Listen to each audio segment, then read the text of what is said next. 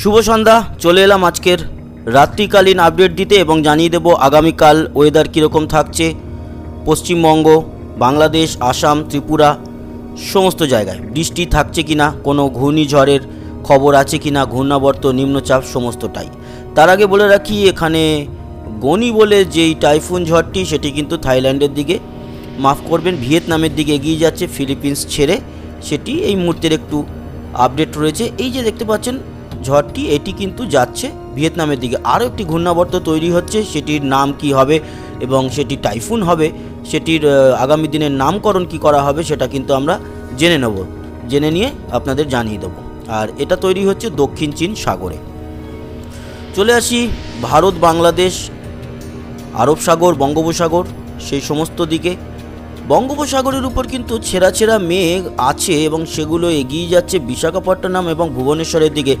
আর আরব সাগর অপেক্ষাকৃত অনেকটাই পরিষ্কার। আমি একটু টেম্পারেচারটা দেখে নেব এই মুহূর্তে কি আছে। ইন্ডিয়া বা ভারতে যেটা আমরা দেখতে পাচ্ছি, মধ্য ভারতে কুড়ি, উত্তর ভারতে নিউ দিল্লি কুড়ি, দক্ষিণ ভারতে বেঙ্গালুরু সাতাশ, মোটামুটি একটু ঠান্ডার দিকেই আছে বলতে পারেন। কুড়ি, আঠেরো একদম নিউ দিল্লির উপরের দিকটাতে মানে হরিয়ানা চণ্ডীগড়ের দিকে। তো সেক্ষেত্রে বলা যেতে পারে সেখানে প্রায় ঠান্ডা পড়তে আরম্ভ করে দিয়েছে। আমাদের এই বাংলার দিকটায় মানে পশ্চিমবঙ্গর দিকে কিন্তু এখনও ঠান্ডা পড়তে দেরি আছে। মানে দেরি বলতে আর খুব বেশি দেরি নেই, তবে পড়বে। দিন কুড়ির মধ্যেই হয়তো আস্তে আস্তে ঠান্ডা পড়বে। আর এই মুহূর্তে যা তাপমাত্রা কলকাতা দেখতে পাচ্ছি পঁচিশ এবং দুই মেদিনীপুর, পূর্ব, পশ্চিমে ছাব্বিশ, দুই চব্বিশ পরগনায়ও পঁচিশের মতো। হাওড়া, হুগলি নদিয়া, সবই ছাব্বিশ পঁচিশের মধ্যে, বাঁকুড়া, বীরভূম, পুরুলিয়া, বর্ধমান, সমস্তটাই একই আছে, পঁচিশ ছাব্বিশের মধ্যে। দার্জিলিংয়ের দিকে গেলে তো একটু কমবেই, আঠেরোর মতো আছে দার্জিলিংয়ের দিকে। আর কোচবিহারে চব্বিশ, জলপাইগুড়িতেও চব্বিশ। অন্যদিকে বাংলাদেশ যদি দেখি, ঢাকার পঁচিশ সিলেটের দিকেও পঁচিশ, ময়মনসিংহ, সবই মোটামুটি পঁচিশের মধ্যে। রংপুরও তাই, রাজশাহী এবং আরও রাত্রির বাড়ার সাথে সাথে দু তিন ডিগ্রি আরও কমবে, ভোরবেলার দিকে একটু ঠান্ডা ঠান্ডা পাবেন। ত্রিপুরায় যদি দেখি, ত্রিপুরাতে এই মুহূর্তে চব্বিশ, খুব একটা খারাপ নয়। আসামের গুয়াহাটির দিকে পঁচিশ, তেইশের মধ্যে, তার মানে আসামের দিকেও বেশ সুন্দর ওয়েদার অন্যদিকে শিলংয়ের কাছে কিন্তু কুড়ি। তো এই গেল তাপমাত্রা। আমি চলে যাই যে কোনো বৃষ্টিপাতের খবর আছে কিনা। বৃষ্টিপাত নেই, তবে হালকা হালকা মেঘ ঘুরে বেড়াচ্ছে অনেক জায়গাতেই বাংলাদেশের দিকে ত্রিপুরার উপরে। ত্রিপুরাতে বৃষ্টি হয়ে গেছে, আর আপাতত বৃষ্টির কোনো সম্ভাবনা নেই বললেই চলে। তাও আমরা দেখে নেব, বাংলাদেশের দক্ষিণ দিয়ে একটু মেঘ ঢুকছে বটে, তার জেরে আজকে, কাল সকালের দিকেও মানে মাঝরাত থেকে আজকে কাল সকালের দিকেও, কিন্তু দক্ষিণে খুব সামান্য একটু বৃষ্টিপাত আছে। ত্রিপুরার দিকেও একটু মেঘ থাকবে কালকে সকালের দিকে, তবে তারপর সেটিও কেটে কিন্তু বেরিয়ে যাবে। কালকে পাতলা পাতলা মেঘ আমরা দেখতে পাচ্ছি, ঢুকছে চিটাগাং হয়ে, ত্রিপুরার দিকে যাবে।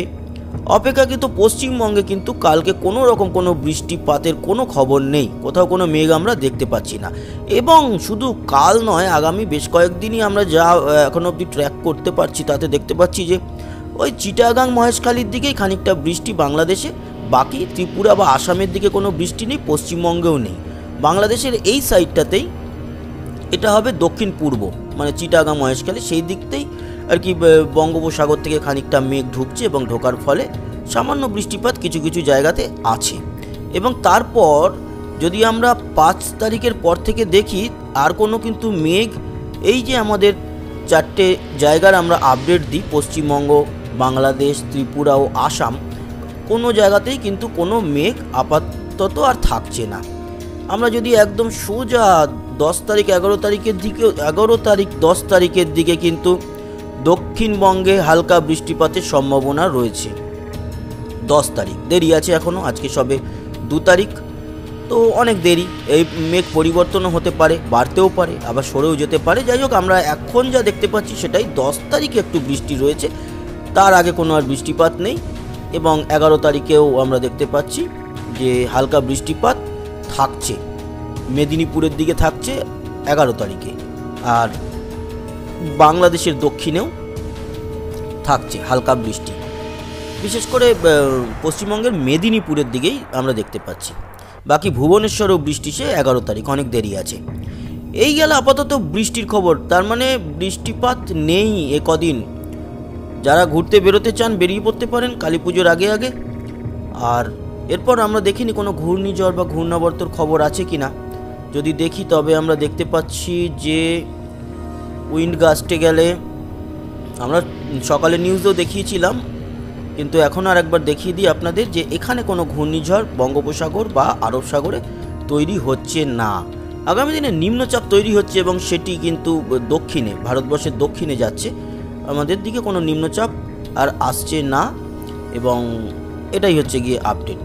অন্যদিকে যে গনির আপডেটটা যেটা বলছিলাম, সেই গণির অবস্থা এই মুহূর্তে এই এ এগোচ্ছে ভিয়েতনামের দিকে আর এখানে আরও একটি ঘূর্ণিঝড় তৈরি হচ্ছে যেটি নামকরণ হয়তো আগামী ভবিষ্যতে কয়েকদিনের মধ্যে আমরা জানতে পারব এবং সেটি আঘাত হানতেও দেরি আছে এখনও সাত আট তারিখ নাগাদ বোধহয় দেখছিলাম সেটি হংকংয়ের দিকে যাবে আর ঘূর্ণিঝড় হচ্ছে না, টাইফুনের আকার ধারণ করছে না। কালকেও করছিল, এখন দেখতে পাচ্ছি যে সেটি আর টাইফুনের আকার ধারণ করছে না। আর মোটামুটি এই আপডেট আর কোনো সেরকম কিছু আপডেট নেই। একটু দেখে নিই। গিলগিট বাল্টিস্তানের কাছে আমরা দেখতে পাচ্ছি এই মুহূর্তে মাইনাস চোদ্দ তাপমাত্রা এবং উত্তর ভারতে বরফ পড়ছে। আকসাই চীন থেকে শুরু করে লে, লাদাখ, প্যাংগং লেক এবং মানালির কাছেও কিন্তু বরফ পড়ে। প্রায় মাইনাস বারো, চোদ্দ ডিগ্রি তাপমাত্রা চলে গেছে। নেপালের দিকেও বরফ। এই হচ্ছে বরফের পরিস্থিতি। এবার আস্তে আস্তে ঠান্ডা পড়বে। ঠান্ডা এখনও অবধি আমরা যা দেখতে পাচ্ছি আমি যদি এগারো তারিখ নাগাদও কি ঠান্ডা পড়বে আমি দেখি। তবে এগারো তারিখ থেকে কিন্তু ঠান্ডা প্রায় কমতে মানে কমা শুরু হয়ে যাবে। দেখুন তেইশ বাইশের মধ্যে আস্তে আস্তে ভারত এই, পশ্চিমবঙ্গ এবং বাংলাদেশ বাইশ তেইশ মানে আস্তে আস্তে করে এগারোর পর থেকে কিন্তু ঠান্ডা বাড়তে আরম্ভ করবে। আসামেও তাই এবং ত্রিপুরাতে তেইশ থাকবে মোটামুটি একই। তো এগারোর পর্যন্ত যা পাচ্ছি তাতে এগারোর পর এগারো পর্যন্ত সেরকম ঠান্ডাটা পড়বে না তবে আস্তে আস্তে কমা শুরু হবে এগারোর পর থেকে।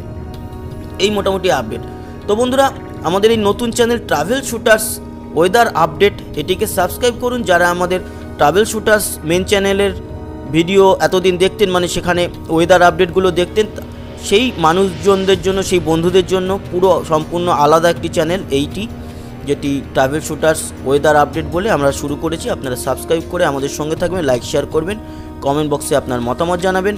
আর অবশ্যই আমাদের সঙ্গে থাকবেন। ধন্যবাদ, আবার দেখা হবে পরবর্তী অন্য কোনো ভিডিও নিয়ে। টাটা।